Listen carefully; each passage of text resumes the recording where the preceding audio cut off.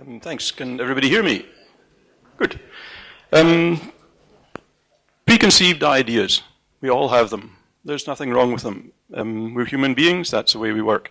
But uh, opportunities like this are chances to look at those preconceived ideas and find out are they right or are they wrong? And clearly, if they're wrong, we have to change our preconceived ideas. Some of us may have come to this symposium, looked at all the green uniforms, and wondered, are we really under resourced? And then you hear 512 million rand. Is that under resourced? And then we look at the other provinces, the other countries. Ish. Many of us came here thinking, gee, rhinos, the rhinos are in a bad way. We had a whole session on rhinos, and it looks like they're being sustainably used. And yet we've lost three species of cycads in the last 10 years. You know, these preconceived ideas, they're not necessarily wrong, but we need to interrogate them. We need to go a bit uh, closer. Um, Melita this morning was telling us about um, the Kenyan fisheries there. Now, many of us, myself included, have spent hours talking about how smashed our fisheries are, how overfished areas are. But when you compare it to Kenya, we could be a heck of a lot worse. Um, what I'm going to be talking about today is fishing competitions in uh, uh, marine protected areas, and the example I'm using is Isimangaliso. Um, just a bit of background in it for those of you who don't know. In Isimangaliso, it's a World Heritage Site. There is the World Heritage Authority. They basically run the show. Uh, Ezemvelo KZN Wildlife are the biodiversity managers. So basically, we run the nuts and bolts of the things. One of the nuts and bolts that we run is the fishing competitions. So we know the numbers, um, the off-takes, the catch returns, all that kind of information. So today my job is to look at, oops, hopefully, but it hasn't changed there. Sorry, it's going to, okay. Oh, that's confusing. So I'll just go by that. Okay. As I was saying, preconceived ideas. Some of you in the audience, um, well, all of us will have preconceived ideas on the applicability or appropriateness of fishing competitions in marine protected areas. So let's start with an hypothesis. Competitions are inappropriate in marine protected areas. Now let's look at this a little bit deeper. Some of the reasoning behind it could be that it brings in extra skillful anglers to a marine protected area. It also focuses on catching large numbers of big fish. So there's more people coming in and they're focusing on catching these fish, not sitting on the beach, but in catching fishes. It creates a hunting atmosphere inside a protected area. You know, as the chairman said just now, it's like going into a game reserve and thinking about shooting a nyala. You go into a marine protected area, you think about killing fish. And prizes are given for the catching and killing of fish. Many people feel this is completely inappropriate in a marine protected area. This is a photograph taken, top 10 fishing competition at Sodwana Bay. This is how a lot of people view fishing competitions, particularly in marine protected areas. There's a magnificent big fish, a top predator, shot, oh sorry, killed inside a marine protected area by relatively rich people for their own recreation. Okay, but let's look at the facts. And the facts are available, and the facts are here. Here we go back We've got figures from 2006. The number of fishing competitions in Isimangaliso was just over 20. And it's more or less progressively increased. Projected figures this year over 120. That's a massive increase in fishing competitions. So clearly, if they are inappropriate in marine protected areas, we have to do something. But there's other facts about fishing, uh, marine competition, fishing competitions in marine protected areas. Ezemvelo is committed to bottoms in bed. Sometimes they don't use the word bottoms. But the bottom line is the same. We need to bring people in, we need to make money. And in some areas, most of the people come to fish. Again, we've got the information. We look at Sodwana Bay, for example, less than half the boat launching there now is fishing. But then when we look at Cape Vidal, over 98% of all launches are fishing orientated. If people didn't fish at Cape Vidal, inside the protected area, we would be losing more money. And we are committed to putting bums in bed. Inexperienced anglers kill many fish. You know, we're saying the competitions bring in skilled anglers. Inexperienced anglers probably do kill more fish than experienced anglers. I catch, I used to catch quite a lot of fish. I let nearly all of them go, and hopefully being a little bit more skilled, many of the fish I do let go do survive. The catch returns generally are poor. Ask the ORI people. Voluntary catch returns, catch returns that we get from the people fishing. It's generally so poor it's misleading. The, the boat launch site registers, the information we get from that, I believe, is now being binned, basically. We tried to get them to fill in catch returns. It doesn't work. Uh, compliance is a problem, particularly with the shad uh, situation at somewhere like Cape Vidal this year. There were terrible problems with trying to control the situation on the ground. So there are problems. But if you look at the facts again, the fishing competitions are not all exactly the same. There's four different kinds. Estuarine, uh, shore, offshore, and spear. Let's look at them individually. Estuarine fishing competitions. Oh, well, clearly that's not a huge issue. It was either one or two, and in the last three years, zip.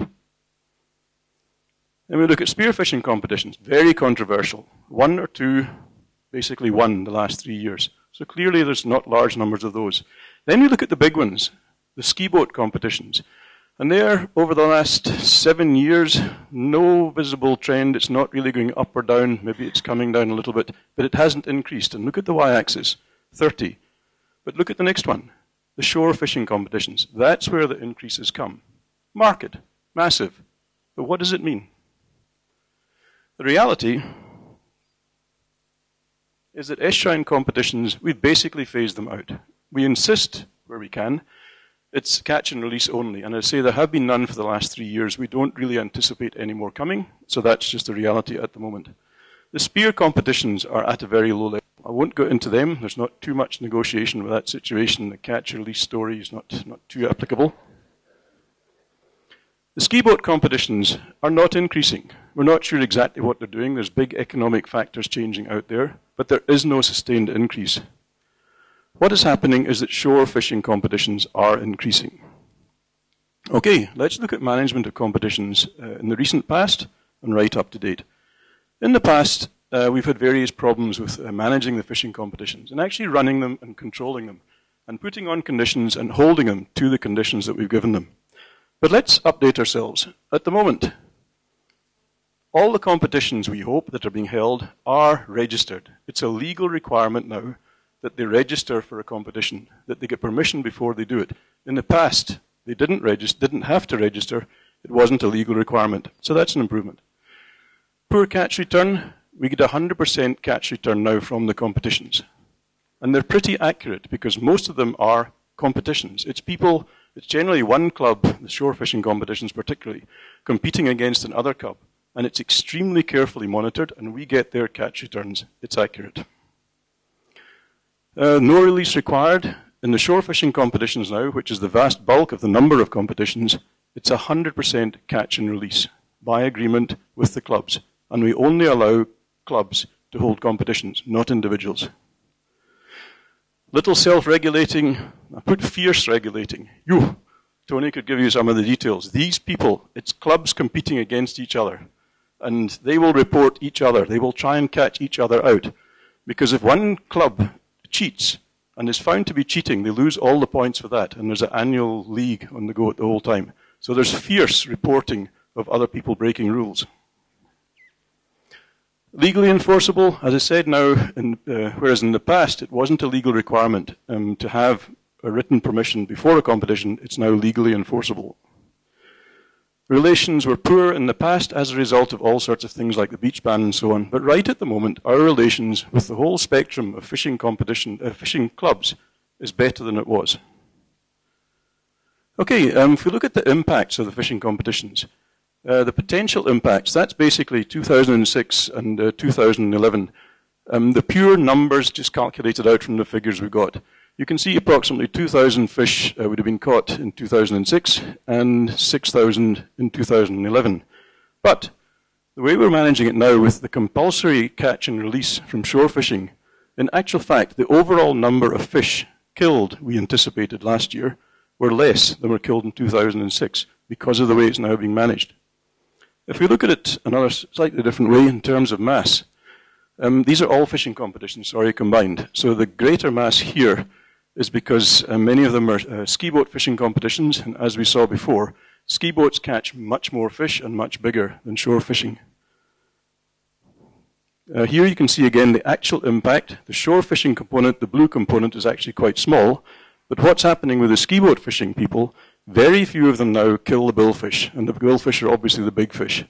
Uh, whether or not those fish survive, or all of them survive, we're not sure. But that is the situation we think is happening at the moment, and it looks like an improvement. The benefits to Ezemvelo. Well, let's clinically look at this thing.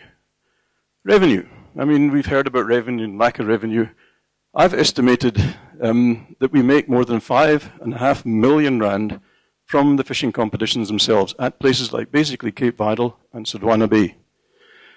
Information. We get good catch returns, and we can enter that data obviously in spreadsheets and work out catch per unit effort. We can see what species are there, relative abundance, all that kind of thing. Improved relations, I've touched on that already.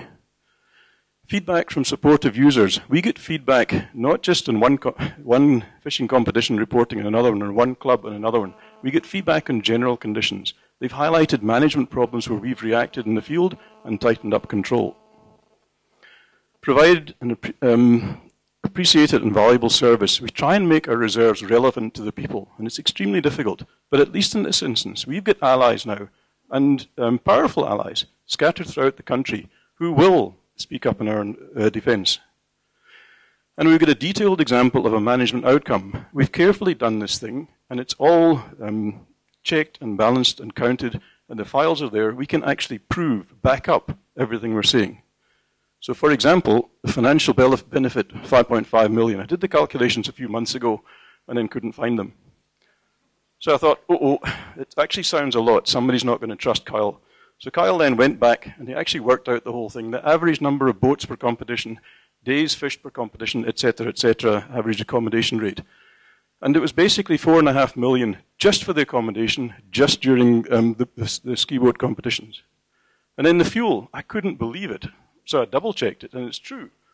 And that figure of 1.1 million is 6% of the 27 million that we estimated they spent in fuel. And you think 27 million in fuel, but it's true. You work out the litres a boat uses per day and the cost. It's a huge amount of money. Then we get into the next little lot. No, I gave up. I am not a social scientist at the moment. Um, but you understand there, it is at least five and a half million, and it's actually a huge a lot more. And that's not even looking at the spin-off benefits. Okay, the benefits to users. They've got an excellent venue for the competition. They wouldn't come if they didn't think it was a really good venue. User-friendly and fair system. If they apply for a competition, we can run it through the system, usually within 24 hours.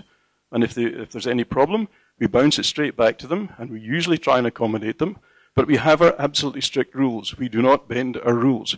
If they don't apply correctly, if there's something wrong, bad luck. They know that, so they stick to the rules.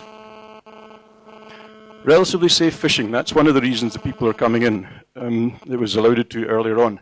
The KZN coast is becoming very difficult to fish, unsafe in many areas, particularly in the evening. But if you fish round about Cape Vidal, you should be reasonably safe, for example. 37 clubs from six provinces have all voted with their feet in this last year. It's an becoming an internationally acclaimed venue for fishing and for fishing competitions. And the improvements in management, just to scan over them again, permission is now a legal requirement. Now that's great. It's great to be able to hit someone if you need to, because in the past, the compliance was more or less just if they wish to comply. Estuarine, estuarine competitions are basically um, stopped, and we view, uh, we all basically view estuarine areas as nursery areas and competitions, any kind of fishing there, as basically inappropriate. Agreements, uh, shorefish caught being released, uh, shore fishing, all the fish caught released, that was a request from the clubs to us. Please stop the killing of all fish caught in shore fishing competitions. So with their request, we have complied, and we only issue permission to the clubs. There is no known killing of fish in shore competitions at the moment. Most billfish are released. That was again basically come from their side because there's no re um, requirement from our side. Um, almost complete and accurate catch information. But these people, there we are. And I'll point out the one is actually smiling. Now, for those of you out there, there's nothing wrong with being happy in a marine protected area. And that is a tagged fish. The gentleman holding the fish mostly has got gloves on, the other one's not. That fish will be returned, and there's hopefully a good chance it will survive. But these people, they want to carry on fishing and to do what they're, and to do that, they are prepared to Provide accurate and complete catch data. Cooperate with management. Abide with sensible rules. Discipline their ranks. Protect fish stocks. Report other offenders, discipline other ranks. And to pay for the privilege. Now, why are they going to do this? I'll tell you why they're going to do it. Because if they don't do it, they will get no more fishing competition permission. So we've got them by the what, what our CEO referred to the other day. Um, yeah, we can, we can actually control them. So the hypothesis is that fishing competitions are inappropriate. Well, they do bring in extra numbers of good fishermen. They do focus on, on large numbers of fish. And the, the hunting, when you hear them discussing the fishing, yes, but it's becoming much more ethical. Each time, each year you go, they're talking more about releasing fish and techniques of reducing mortality. And prizes are given for catching and killing fish, yes, but as it says in the Bible, whether you're hung for a sheep or a lamb, it makes no difference. So if the fish is dead, whether the prize are big or small is actually not a biodiversity issue. What is appropriate in um, uh, MPAs? The mission of Ezemvelo, that's the mission, and it talks about efficient conservation and sustainable use. And I believe that we can now show that the way we are managing competitions is indeed that. What about the high level deliverables, the APPs? That's what we're told we must uh, adhere to in Ezemvelo. These are the most important things. If they're not done, our 512 million is in jeopardy. And BC1 is sustainably harvest all that amount of money. Now, the fishing competitions already do almost 3% of that, with basically very little management and input on a voluntary basis, and they pay us 5.5 million. Another one is increase stakeholder satisfaction by 15%. Ask the user group here. You can contact them. They're going to tell you this thing, as far as they're concerned, is going well. We can show that competitions in, now, in are now increasing in number, but well controlled and improving, sustainable and self-monitored, in line with Ezemvelo policy and goals, and can indeed be part of wise use. But we can still make more progress. What more progress can we make? We can work with the uh, competition organizers to find other ways of reducing mortality and morbidity of the fish that are being caught. And we can work on the ski boat fishermen. They're kind of difficult because they're investing, they say, a huge amount of money. They want returns. But they have, they, they now let go nearly all the billfish. What is appropriate in the MPAs? Well, our vision again is to be a world renowned leader in the field of biodiversity conservation. And I believe that we've now got the facts that can show that allowing competitions the way we are at the moment is actually working towards this goal, not against it. Thank you.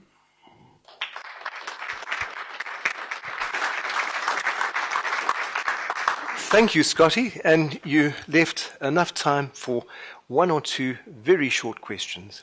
We'll start with Stuart. Just wait for the microphone, if you would said mine quite short. Um, is there a limit? Are you going to limit the number of competitions? I mean, you showed that the shore fishing is up to 120.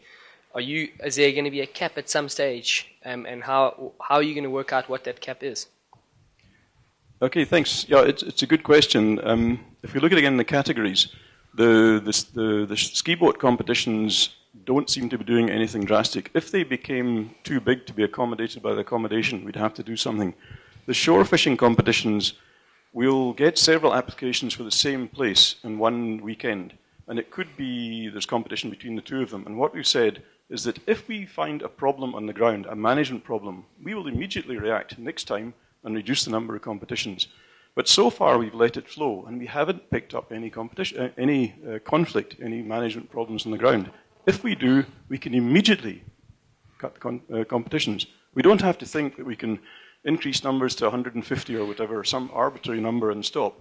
We're managing it on the ground on a competition to competition basis. As soon as there's a problem, we can pull back.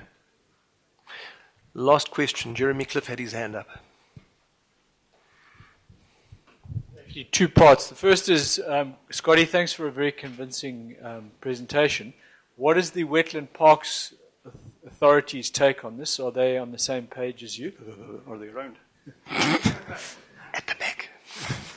and then the other thing I wanted to ask you is, is what sort of level of control have you got? I know the shark huggers are very concerned that, from a shore angling point of view, a lot of the raggies that are caught at Cape Vidal and, and Sodwana are in fact uh, pregnant females, and there's obviously some concern about about that. Yeah, that, that's a very good point. With the relations we've got with the clubs at the moment, we can close areas. Boom, somebody applies to fish somewhere, if we have good information that raggies are pupping or something in that area, we can close that area. We can do it arbitrarily, but we can actually just inform the, the clubs, look, there's a problem in this area. Turtles at Bhanga Nek, for example, because uh, most of these people fish at night time, the shore fishermen. Hey, when the turtles are beating at Bhanga Nek, no competitions, no negotiation, not a problem. We can manipulate the situation whichever way we want. Thank you, Scotty.